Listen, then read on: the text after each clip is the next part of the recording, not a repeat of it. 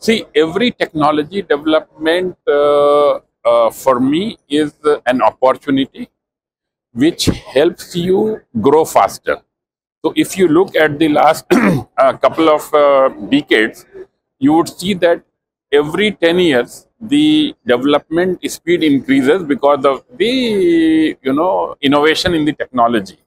So, all these tools which are now coming will support us in fast decision making and the moment we are able to take fast decisions we are we will be growing faster. Right? So i see it as a tool which is which will help us to grow rather than as a threat to the mind and the people. So so many people feel that uh, you know chat gpt or artificial intelligence will take our job. No. This will make our job easier.